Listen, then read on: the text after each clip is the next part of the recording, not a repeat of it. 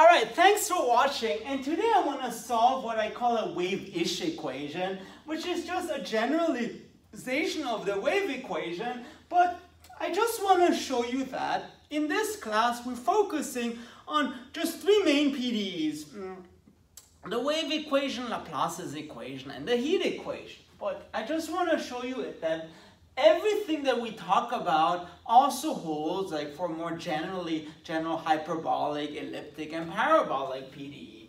In particular, let's solve this method with the same method we solved the wave equation.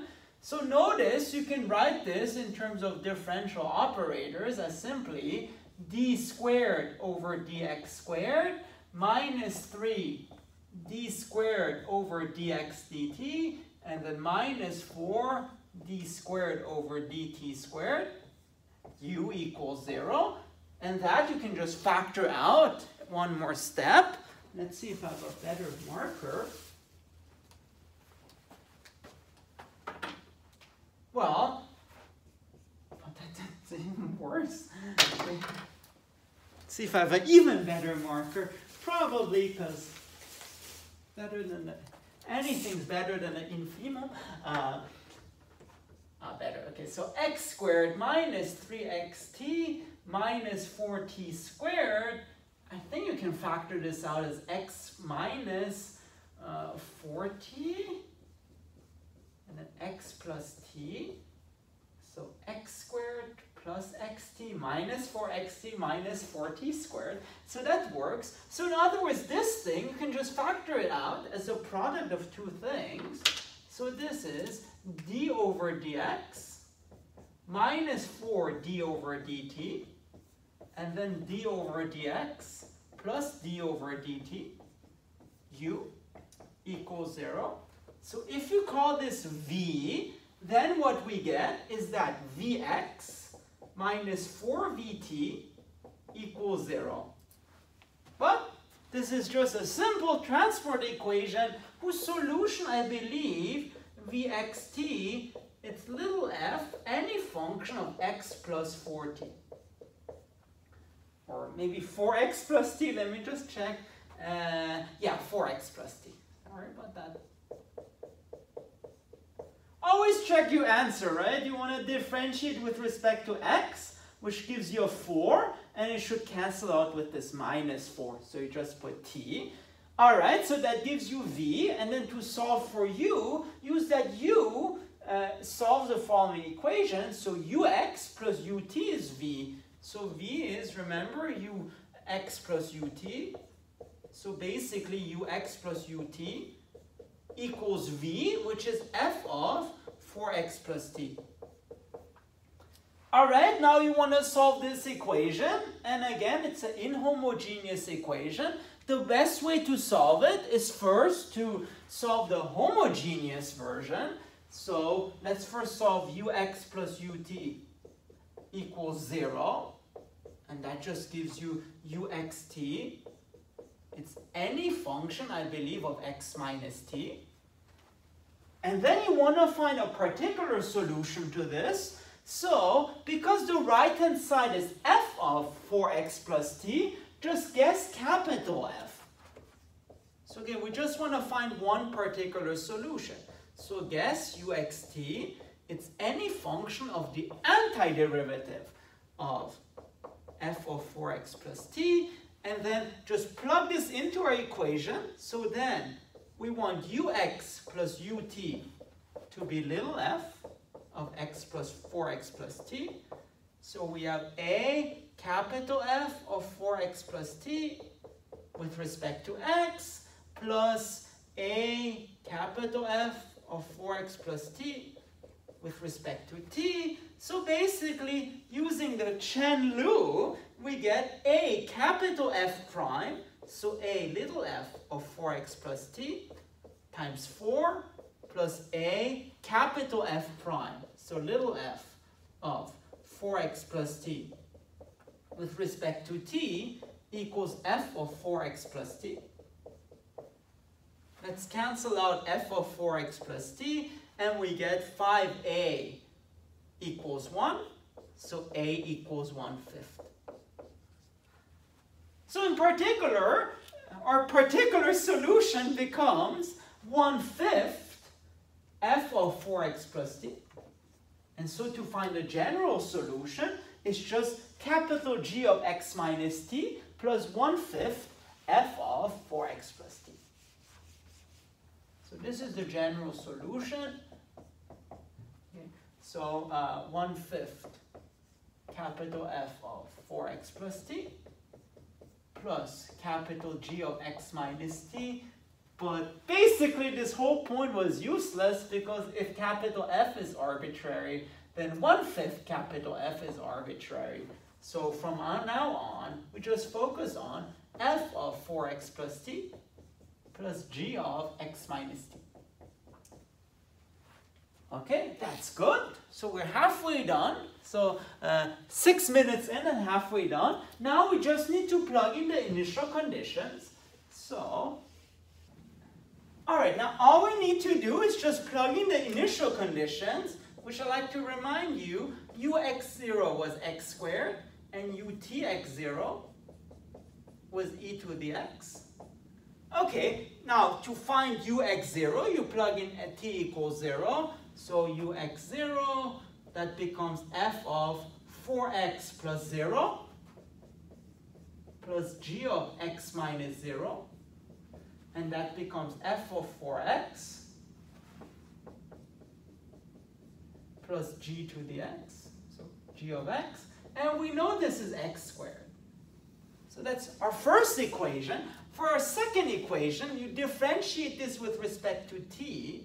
So utxt, that's so f prime of 4x plus t and minus g prime of t. Because remember, you want to uh, differentiate this, you know, with respect to uh, t, not with respect to x. And then what we're left with is ut. Now you want to plug in t equals 0. So utx0, that's f prime of 4x. Sorry, did I forget? Uh, uh, there was x minus t minus g prime of x. Let's plug in t equals 0, and we get that this is e to the x. Okay, good. So we know, basically, f prime of 4x minus g prime of x equals e to the x. And well, to get an identity with f and g, you just integrate. So integrate both sides, if you want, with respect to x. And just be a little bit careful, namely, if we had f of 4x prime, then no problem. If you integrate that, you get f of 4x. But that's not the same thing as f prime of 4x. In fact, an antiderivative, think like e to the 4x, becomes 1 quarter e to the 4x. So 1 quarter f of 4x, and then minus g of x equals e to the x plus a constant. So that's good. So that is one identity. The other one was this one, f of 4x plus g to g of x equals x squared. And then you just solve for those. So uh, you solve for f and g. To solve for f, for instance, you add both equations and you get 5 quarters f of 4x equals x squared plus e to the x plus a constant. So f of 4x is 4 fifths x squared plus e to the x plus a constant, sorry, uh, plus 4 fifths e to the x plus 4 fifths constant. And therefore, f of 4x is that, f of x is simply you replace x by x over 4. So 4 fifths x over 4 squared plus 4 fifths e to the x over 4 uh, plus 4 fifths constant. I'm not even going to bother to simplify this because if you have more complicated functions, uh, you can't simplify. So, mm, okay, if you want, it's, uh, I think, uh, 4, uh, uh 4 times 20, yeah, x squared over 20 if you want. And then, okay, so that was one thing. And then, now we need to solve for, uh, we solve for f, we need to solve for g. So you can do this equation minus 4 times this equation. So g of x plus 4g of x, that is x squared minus 4e to the x minus 4c. Didn't, I guess I didn't foresee that.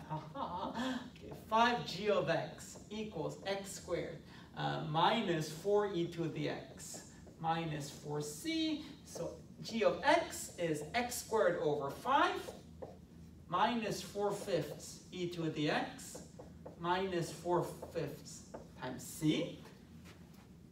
And lastly, so we found f, we found g, and uh, just to have a formula, so I don't remember the formula, but my whiteboard is so messy I can just read it off.